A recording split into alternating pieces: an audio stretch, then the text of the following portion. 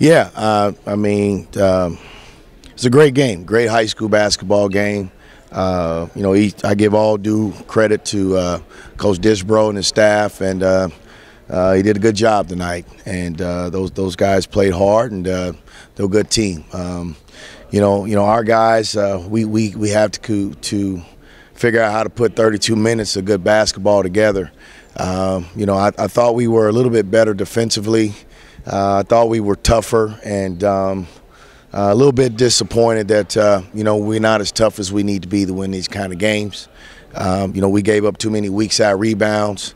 Uh, our communication wasn't very good. We didn't do a good job communicating. Um, you know, and um, you know those, those are the things that uh, it takes to win these kind of games on the road. You know, um, but I still think we're a good ball club.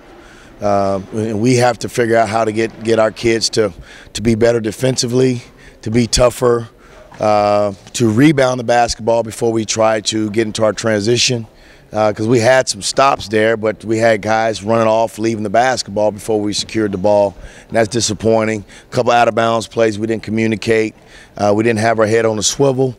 Uh, you know, we, we just didn't read some of the action. I mean, it was simple stuff, and uh, you know, you know. Um, you just you just hope the guys can just make plays, and, and, we just didn't make enough plays. I thought down. I thought the second half, uh, our guys competed.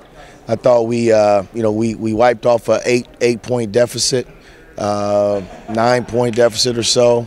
Uh, it got up to 11, and when we got the thing back down to a tie ball game, uh, we had again we had good looks. Thought we spaced them.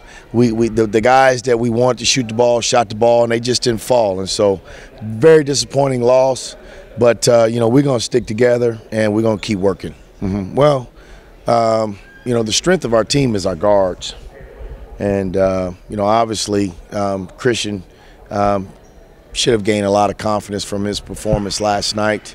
Uh, I, I, have 100% belief in Trey Griffin. Uh, Trey has worked hard, and uh, I thought he competed tonight. Uh, you know, uh, you know, talking to Doug Mitchell after the game, they they really scouted Trey last night, and they scouted Ty Lee Hampton. Uh, last night as well. And uh, tonight, Trey was able to get loose and hit some shots. He had some really good looks.